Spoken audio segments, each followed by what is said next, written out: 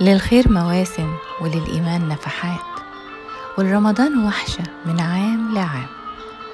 معسكر روحاني ترتفع فيه درجاتنا وتثقل فيه معادننا وتغسل فيه همومنا. لكن الصيام عن الطعام والشراب هو جزء من رحلة التهذيب الروحاني. الأجزاء التانية عبادة وترتيل لكن الأهم هو تنقية النفس والروح. في رمضان عشرين عشرين تعالوا سوا نرتحل مع الرحل لنغير النفس ونصفي الباطن ونحصد أطايب الأخلاق. في رمضان بودكاست مع حنان عواد.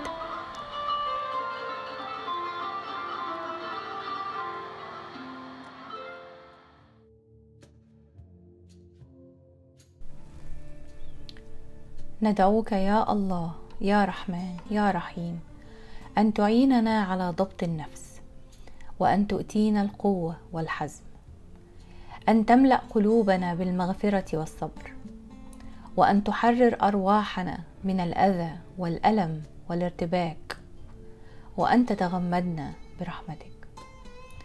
اللهم اجعلني لينا لطيفا كريما متسامحا ومحبا لذاتي وللآخرين. اللهم احمني من نفاذ الصبر والإحباط والاستياء والحقد والغيرة. اللهم أغدق نعمك علينا وجدد أرواحنا وامنحنا قوة جديدة تمكننا من العمل والسعي فيما تحبه وترضاه.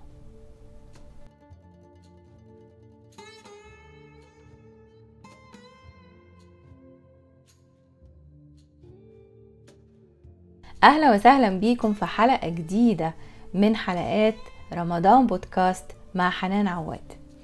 والنهاردة كنت بفكر في مفهوم الرعاية الذاتية والتعاطف مع النفس. للأسف المفهوم ده بعيد شوية عن مجتمعاتنا وبناخده كأنه نوع من الأنانية.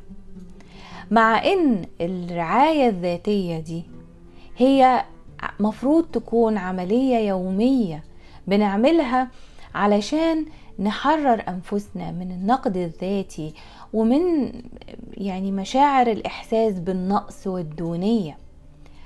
ربنا سبحانه وتعالى بيقول ولقد كرمنا بني آدم وحملناهم في البر والبحر ورزقناهم من الطيبات وفضلناهم على كثير مما خلقنا تفضيلا طيب إذا كان ربنا سبحانه وتعالى بينظر لينا هذه النظرة إن إحنا ما بين كل مخلوقاته في أعلى منزلة ليه بقى نبقى إحنا قاسيين على أنفسنا؟ بتعدي في حياتنا محن شديدة وقلق ممكن نعاني من مشاكل في النوم ممكن نعاني في مشاكل مع الشهية مش قادرين ناكل أو بناكل كتير قوي. ممكن نشعر بمزاج يعني ملخبط كده. ممكن ندخل في حاجة مفرطة. يعني مثلا اللي بيدخن يدخن كتير قوي. اللي بياكل ياكل كتير قوي. اللي بينام بينام كتير قوي. اللي يسهر يسهر كتير قوي. شيء مفرط.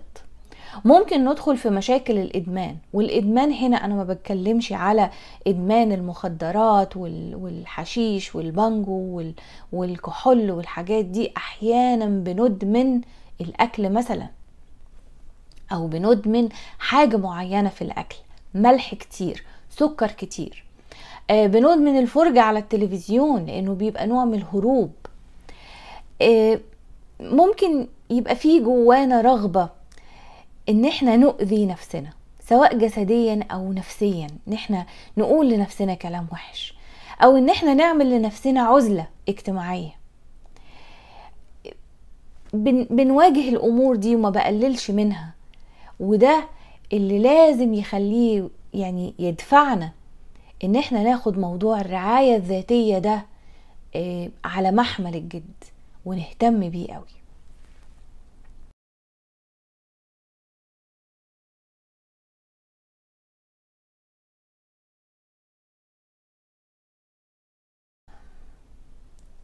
سهل إن إحنا نشعر بالتصالح مع أنفسنا وبالسلام الداخلي ده.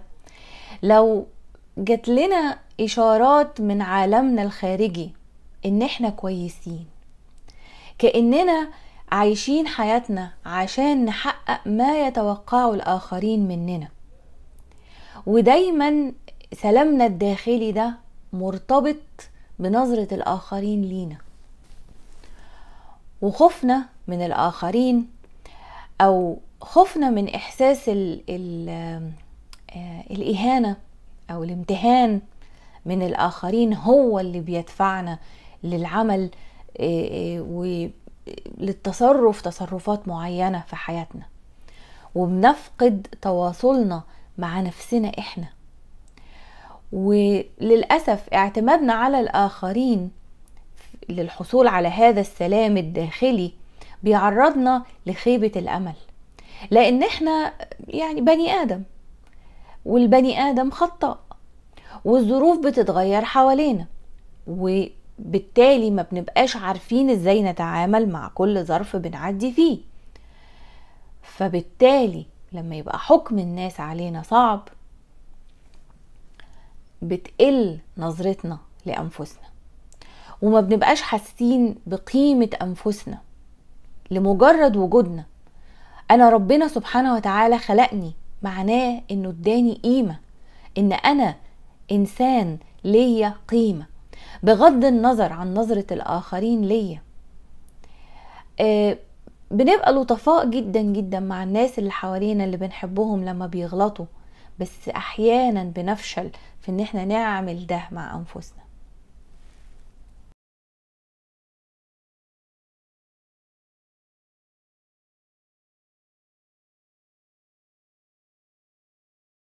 النهارده في الحلقة دي هدفي ان إن إحنا نحاول إن إحنا نتعرف على أنفسنا. نتعرف على مشاعرنا نحس بيها نقيمها. و... وده نوع من الحكمة في مواجهة ظروف الحياة. لأن ظروف الحياة متغيرة فإحنا محتاجين جزء كبير قسط كبير جدا جدا من الحكمة. والمعرفة علشان نقدر نواجه ظروف الحياة بدون ما نفقد أنفسنا.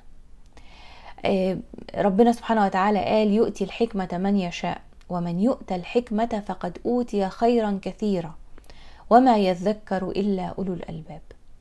والعلماء قالوا لنا إن عقولنا عاملة زي العضلة. إذا شغلتها تقوى وإذا سبتها ما اشتغلتش تضمر فده شيء حلو جدا.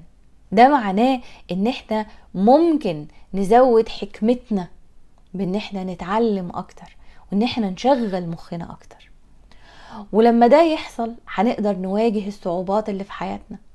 هنقدر إن إحنا عارفين كده يعني نسكن أنفسنا أو نسكت أنفسنا. زي ما تلاقي بيبي كده بيعيط وتاخده وتطبطب عليه وتقعد تهدهده عشان يسكت. ولما نيجي نواجه الصعوبات هنواجهها بشجاعة وبثقة وفي النفس وبسلام داخلي. مش لمجرد إن إحنا مضطرين ولا يعني مضطرين ومغصوبين على الوضع اللي إحنا فيه.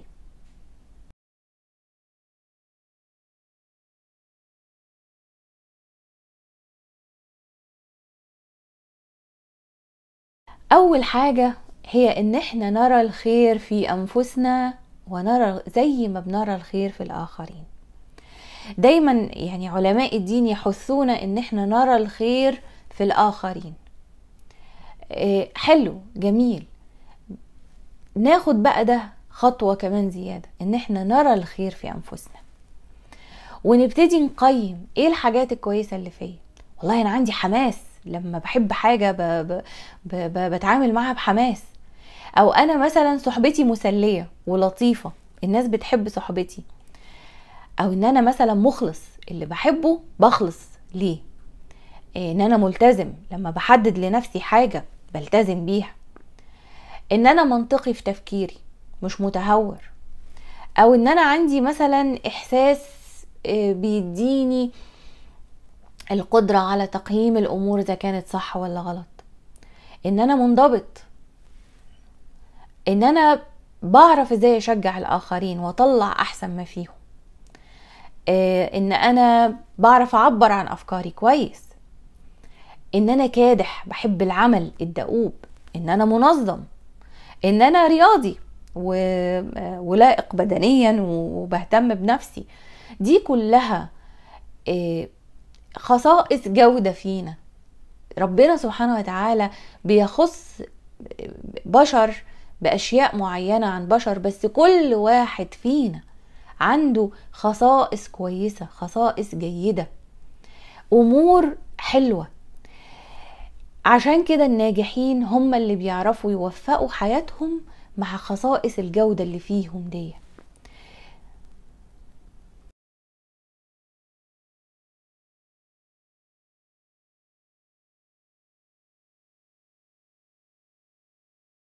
وده يخلينا نفكر في جوهرنا الأساسي. إحنا كتير قوي بنهتم بال... بال... بالطبقات الخارجية اللي حوالينا. لكن لازم نج... نفكر أكتر في جوهرنا الأساسي عشان أعرف يا ترى أنا مواهبي إيه؟ أنا م... أنا قدراتي إيه؟ إيه اللي أنا بحبه؟ إيه اللي أنا بعرف أعمله؟ إيه اللي أنا أقدر أنتج فيه؟ بدل ما أحاول يعني أحط نفسي في قالب وضعه الآخرين ليا أحط نفسي أنا في قالب مناسب لنفسي. وبدل ما أبقى يعني مليانة بالشك أو الندم أو أو عدم الرضا لأ أبقى فخور بنفسي أبقى راضي عن ذاتي. اعرف شعورك الحقيقي دون مبالغة. ودون التقليل على فكرة من مشاكل الحياة والكلام ده لا بس نعرف شعورنا الحقيقي. أنا بحب ده عشان كده بمشي فيه. أو أنا مخنوق فبستخدم هذا الشيء كنوع من الهروب. اللي عنده قوة بدنية يفكر إزاي يستغل قوته البدنية. اللي عنده ذكاء يفكر إزاي يستغل ذكائه.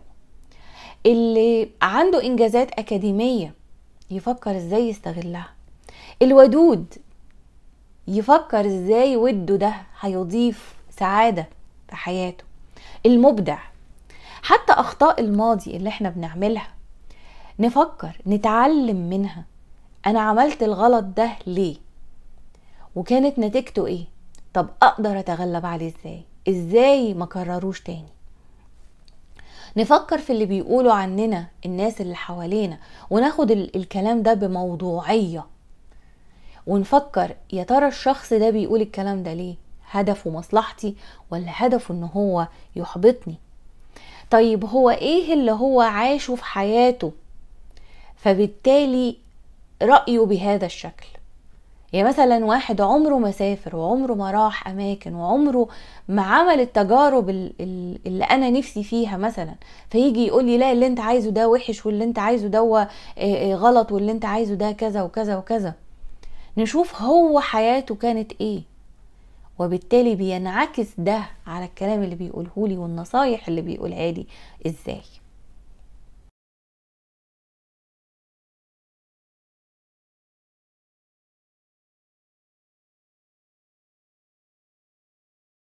كمان مهم قوي إن إحنا نشوف الرسائل اللي بنتلقاها في الإعلانات والمسلسلات وعلى ال ال ال الفيسبوك وتويتر واليوتيوب والرسائل اللي بيبعتوها لنا أصحابنا على الواتساب كل الحاجات دي بتأثر على مشاعرنا وبتأثر على وجهة نظرنا تجاه الأمور كأن بتلون رأينا بلون مختلف.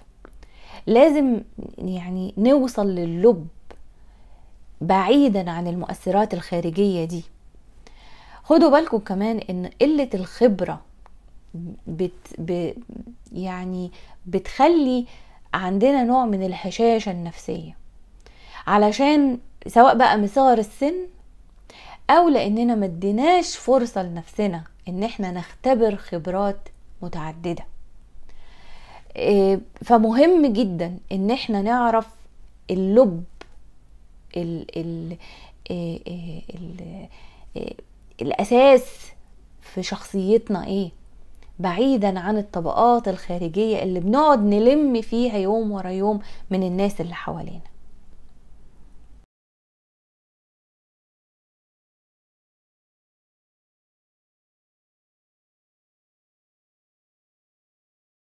لازم كمان نعرف إن الظروف والأحداث اللي بنمر بيها حاجة وإحنا نفسنا حاجة تانية. الناس اللي دايما بت بت بتضع لنفس يعني بتشكل هويتها وقيمتها الذاتية آه، بناء على ظروفها الخارجية بتتعب قوي.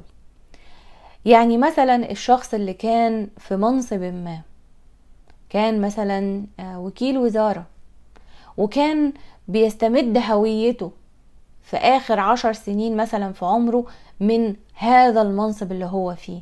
ويروح المكتب والناس تضرب له تعظيم سلام وده يدخل عليه رجل ورا ورجل قدام يا فندم أنا بنقول كذا كذا كذا. فجأة يتخانق مع الوزير مثلا أو مثلا مدير إدارة يتخانق مع المدير العام.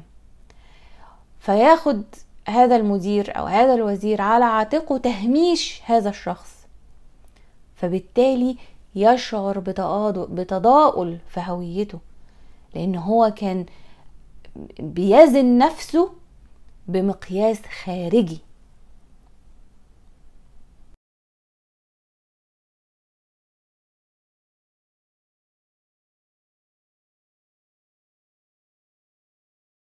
وأحسن حاجة يعني ممكن نعملها عشان نقيم أنفسنا بعيدا عن الطبقات الخارجية والظروف والأحداث اللي حوالينا والمناصب والحاجات اللي بنمتلكها ونظرة الناس لينا هو إننا نسأل نفسنا كل يوم يا ترى أنا النهارده حاسس بإيه عن ذاتي؟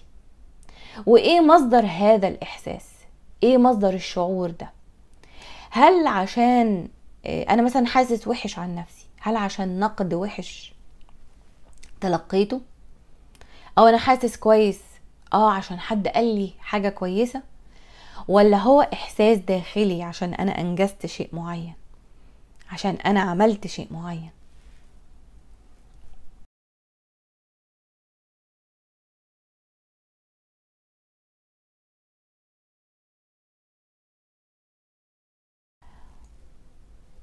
ليه بنخلي أفكار الآخرين هي اللي تحدد قيمتنا؟ مش أفكارنا إحنا. هو ده المهم قوي إن إحنا نعرفه.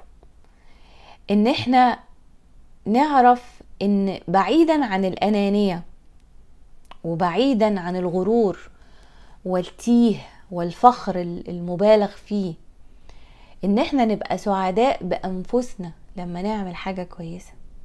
بصراحة أحسن أحسن ناس في الموضوع ده تلاقي الأطفال. تلاقي الأطفال اللي لسه ما شوهتهمش التعاملات الخارجية تلاقيه معجب بنفسه لما يعمل حاجة كويسة. لما يقف تلاقيه فرحان ومبسوط عشان هو اللي قدر يقف. بعد كده بقى يتعلم إنه يشوف نظرة الإعجاب في عينين بابا وماما فيضيف بقى الإيه؟ التوكيدات الخارجية في المعادلة. وشوية شوية ننسى إن إحنا نحس بقيمتنا من جوانا.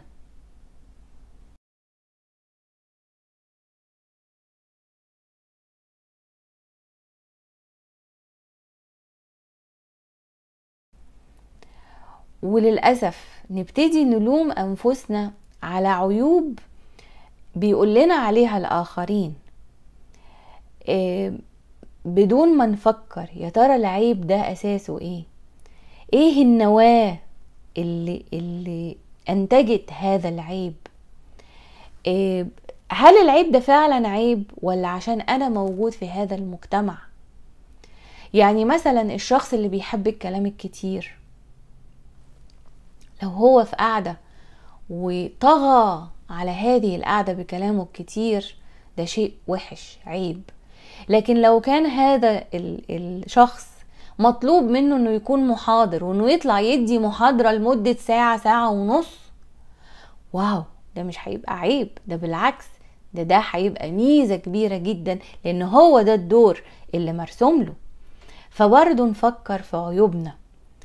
هل هي عيب نظرا للنتيجة اللي بتأديها؟ هل هي عيب عشان الناس اللي حوالينا بتقول إنها عيب؟ ولا هل هي عيب لأنها نقطة قوة في غير موضعها مش في مكانها.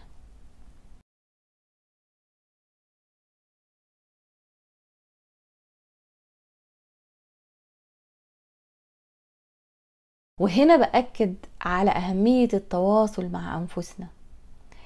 لما نشعر شعور سيء تجاه أنفسنا أو بالإحباط أو كده نسأل نفسنا ليه؟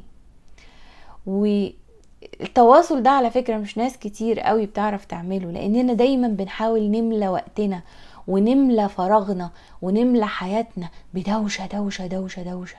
ناس ناس ناس ناس. تلفزيون مفتوح عمال على بطال. خناق كل يوم. عشان كده ما بنقدرش نسمع صوتنا الداخلي. نتعامل مع أنفسنا كأننا كأنها صديق. ونفكر في هذا الصديق اللي هو النفس. يا ترى أنت زعلان؟ طب زعلان ليه؟ انزعجت واتضايقت لما شخص قالك نقد معين مثلا لحاجة أنت عملتها طب ليه؟ مش يمكن هذا النقد لو لو طبقته تحسن من عملك ده أكتر؟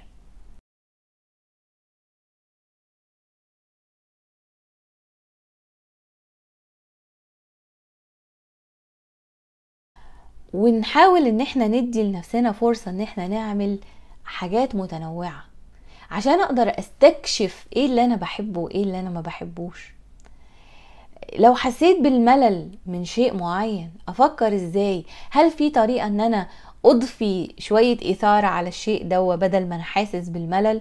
ولا خلاص ده هوبليس كيس ما أقدرش أتعامل معاه ومش هعمله؟ أنا مثلا جربت إن أنا أصطاد.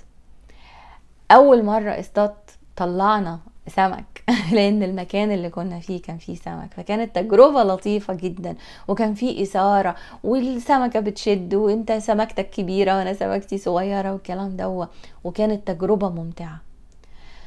مرة تانية رحنا قعدنا وقت طويل جدا وكنا يعني أربع أشخاص يا دوبك جبنا بسريتين صغيرين.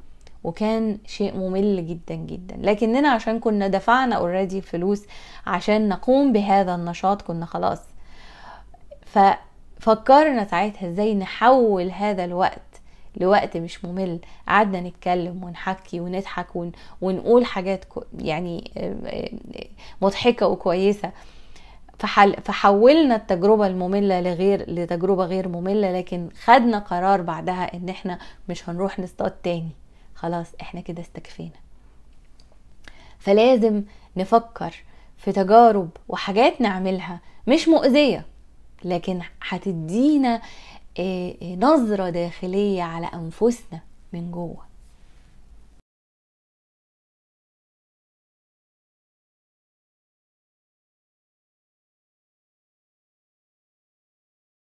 كمان من الحاجات اللي أنا حاسة إنها بتخلينا مش قادرين نتواصل مع أنفسنا إن إحنا للأسف فقدنا القدرة على الاسترخاء على الراحة.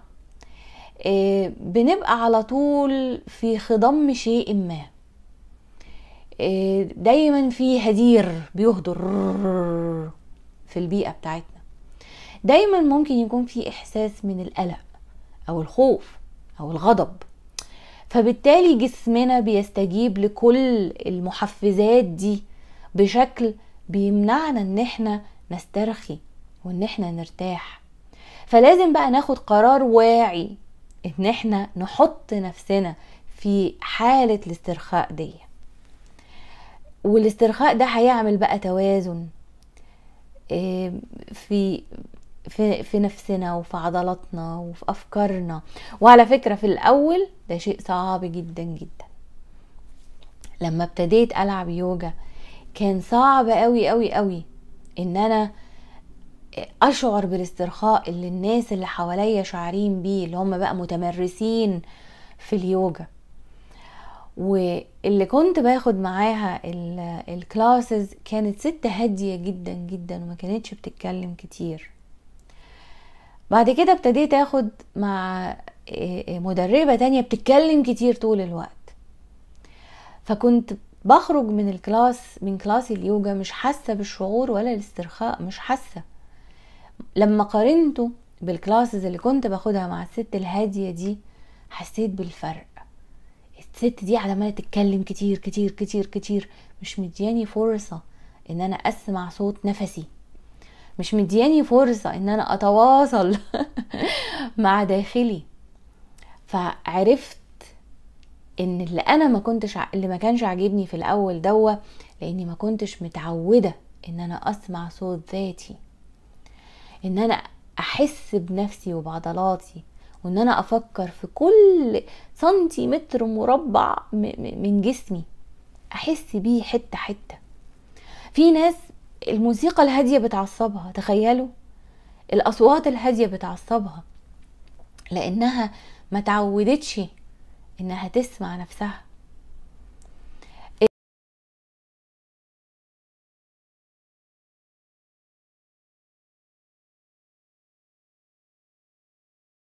النفس كمان أغلبنا بيتنفس غلط. أغلبنا ما بنعرفش نتنفس صح. ما بناخدش نفس عميق يدخل أكسجين لجسمنا. للأسف التلوث والسجاير والأبخرة والمنظفات الكيماوية والكلام ده كل ده ضر برئتينا فما بقيناش عارفين نتنفس صح. فلازم نحاول إن إحنا نتنفس صح. ناخد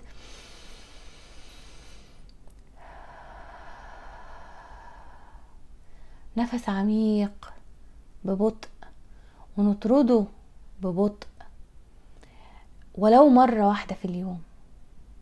اليوم اللي بعده ناخد مرتين. اليوم اللي بعده ناخد ثلاثة وهكذا. صدقوني شيء مريح جدا جدا. والنفس الجميل ده بيحطنا في حالة من الراحة والهدوء والسكينة.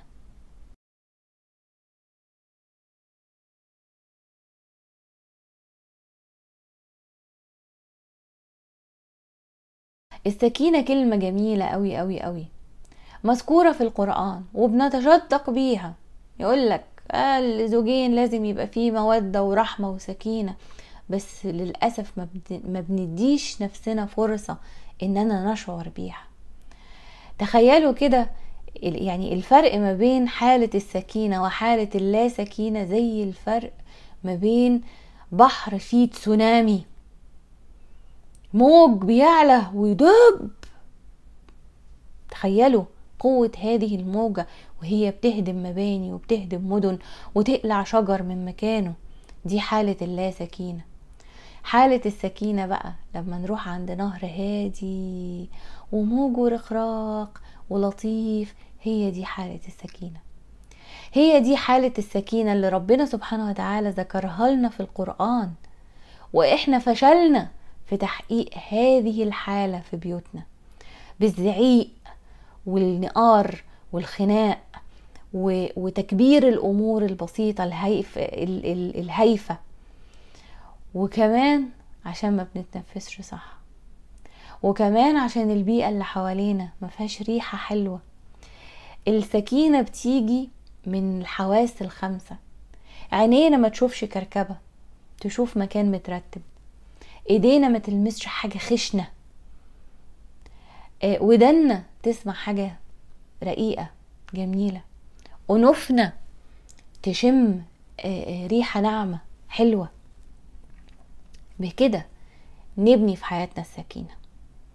ولما نبني في حياتنا السكينة هنقدر نتواصل مع أنفسنا. مش هيبقى فيه دوشة في دماغنا مش هيبقى فيه هدر الصوت ده. كأن الواحد في ورشة إنتاج. مش قادرة أنسى إن أنا مهندسة. ودي أمور نعملها يوميا. نشوف الأكل اللي بيهدينا. نشوف المية الساقعة الجميلة الحلوة. نشوف النوم. نشوف الحاجات اللي بنشوفها بعينينا وبنلمسها بإيدينا وبنسمعها بودنا وبنشمها بأنوفنا. كل ده كل ده هيدخل السكينة. وكل ده نوع من الرعاية الذاتية لأنفسنا والتراحم الذاتي.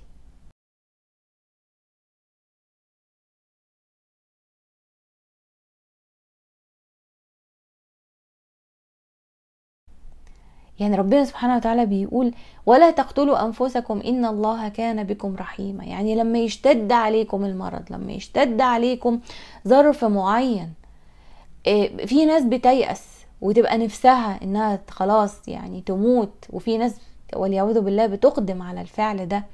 ربنا سبحانه وتعالى بيقول إن الله كان بكم رحيما. مش هنكون إحنا رحماء بأنفسنا؟ لازم نبقى رحماء بأنفسنا. ونفكر بأنفسنا على إن إحنا أصدقاء ناس بنحبها. نفسنا دي أنا أكلم حنان وأقول لها حنان أنا بحبك. وانتي زي ما انتي ربنا سبحانه وتعالى كرمك وخلاكي إنسانة غالية فانتي غالية عليا. أنا بكلم نفسي. وأدي وأعيش مع نفسي لحظة من لحظات التراحم مع الذات. وأكون لطيفة مع نفسي وطبطب عليها وأقول لها ما تزعليش دي أزمة وهتعدي. كل الأمور هتبقى في الآخر كويسة.